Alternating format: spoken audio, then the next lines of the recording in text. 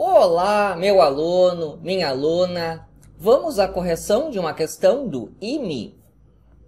No que diz respeito à posição relativa das circunferências representadas pelas equações, essas aqui, pode-se afirmar que elas são e seguem ali as alternativas. Eu começo com uma revisão daquilo que se precisa para a questão. Aqui eu trago os casos de posições relativas entre circunferências. Eu começo com uma circunferência dentro de outra e eu vou arrastá-la para fora. Aqui é a situação de circunferências interiores. Aqui nós temos uma tangência interna. Elas se tocam apenas em um ponto. Continua arrastando para fora. Aqui nós temos circunferências que são secantes. Aqui de novo é tangência, só que agora é tangência externa. E aqui circunferências que são exteriores. Olha só. Aqui eu tenho o raio da circunferência grande, que eu vou posicionar aqui. Raio ele mede isso aqui, ó. A distância entre os centros eu vou chamar de D1. Mais esse pedaço aqui, ó, em azul, que é o raio da circunferência pequena. Então, a distância D1 entre os centros dessas duas circunferências mede o raio grande menos o raio pequeno. Aqui, ó, nessa situação, a distância entre os centros é um valor D2. E como os centros estão mais próximos nesse primeiro caso aqui, então essa distância D2 ela é menor do que essa distância D1. Então a distância D2 é menor do que o raio grande menos o raio menor. E aqui, ó, em rosa, eu estou aumentando a distância. Aqui eu tenho uma distância que eu vou chamar simplesmente de D. Esse comprimento rosa aqui, ó, ele é maior do que esse comprimento vermelho, porque eu justamente estou pegando a circunferência e jogando ela para fora. Então aumentou a distância entre os centros, de maneira que essa distância D ela é maior do que a distância D1. R menos R. Agora, eu venho para cá. Tudo isso aqui ó, eu vou chamar de D3. D3 é a distância entre os centros, nessa posição aqui, de tangência externa. E quanto que vale isso? Esse pedaço aqui, ó, é o raio da grande. Esse pedaço aqui é o raio da menor. Então aqui eu tenho o raio da grande mais o raio da menor. Quando eu tenho a situação aqui, ó, de circunferências exteriores, essa distância aqui, D4, é maior do que essa distância aqui. Porque aqui eles estão mais afastados, os centros estão mais afastados. Então, a distância D4 aqui, ela é maior do que o raio grande mais o raio pequeno. Olhando esse caso aqui, ó, de tangência interna, se aqui a distância entre os centros é o raio grande mais o raio menor, então aqui a distância é menor do que esse valor. A distância rosa aqui, ela é menor do que o raio grande mais o raio menor. Porque esse comprimento azul aqui, ele é maior do que esse comprimento rosa que eu tenho aqui. De tal maneira que aqui eu cheguei a uma relação que informa como é que se comporta a distância entre os centros da circunferência em relação aos raios. Eu vou usar isso daqui a pouco. Então aí estão todos os casos. Para o exercício, eu ainda preciso disso aqui, ó. A fórmula da distância entre dois pontos. E pegando essa mesma expressão, nós temos isso aqui, ó, que é a equação do círculo de raio R e centro, em x do centro, y do centro. Aqui eu estou revisando, né? Se você não souber algum desses tópicos, nós temos aulas específicas só para ensinar isso aí. E também um produto notável, quanto que vale A mais B ao quadrado.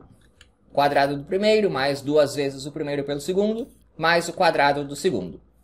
Com isso aí tudo, dá para encarar o exercício. Vou aqui pegar a primeira circunferência e vou reescrevê-la nesse formato aqui, fazendo um completamento de quadrados. Então, aquilo que estava ali em cima é isso aqui, ó. x ao quadrado menos 6x mais y ao quadrado menos 8y igual a 11. Isso que eu escrevi é isso aqui. Eu vou reescrever para deixar bem claro que vai ser assim, ó. Como x ao quadrado menos 2 vezes 3x. E agora, do nada, eu vou colocar aqui um 3 ao quadrado e tirar um 3 ao quadrado. Por que, que eu fiz isso? Porque eu vou enxergar esse x ao quadrado menos 6x como de alguma forma tendo vindo daqui, ó, de um produto notável. Então, por isso que eu fiz aparecer um 2 aqui. Esse 2 aqui é esse 2 aqui. Então, o que, que acontece? Esse b aqui, eu preciso dele ao quadrado aqui.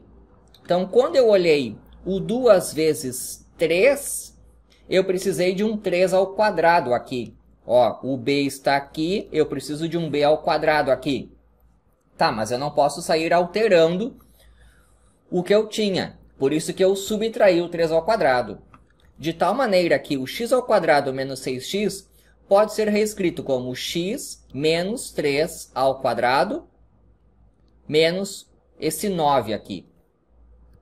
Isso aqui, que é igual a isso aqui, eu consegui reescrever assim.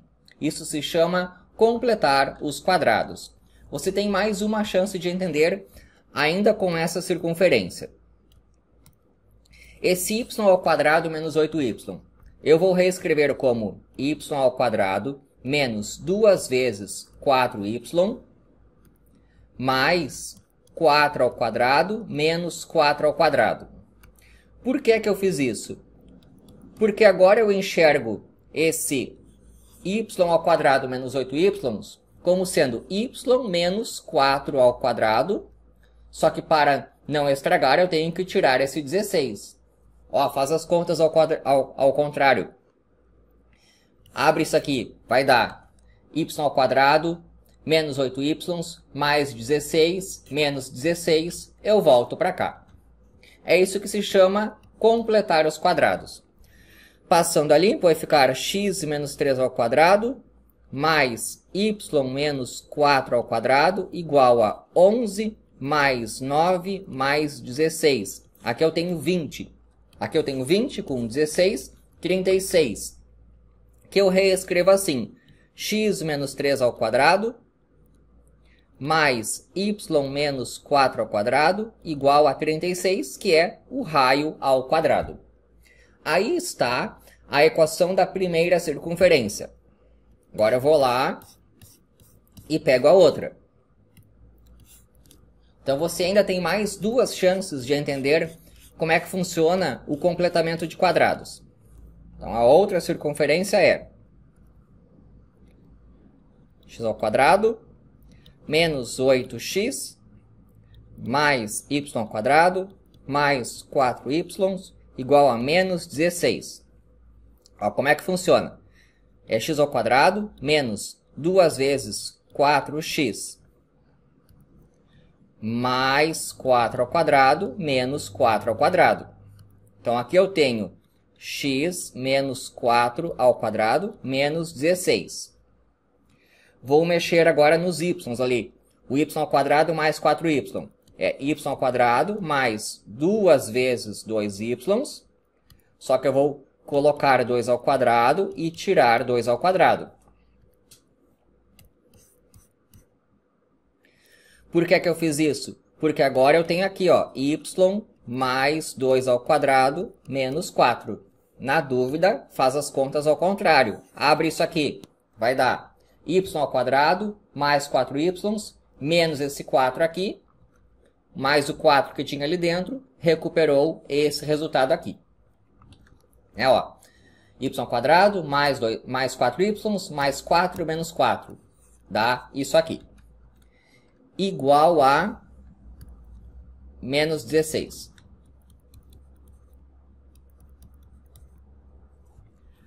Aqui simplifica esse com esse.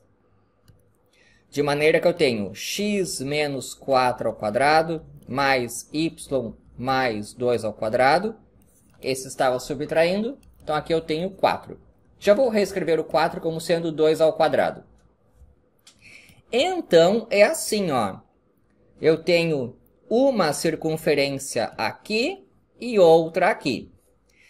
Essa aqui tem o centro em 3, 4 e raio 6. Essa aqui tem o centro em 4 menos 2 e raio 2. Olha, se fosse a minha prova, se eu estivesse lá no dia, o que eu faria? Acho que seria um desenho mesmo. Eu tentaria manter uma escala. Aqui, ó, centro em 3, 4 está aqui. E o raio 6 é isso aqui.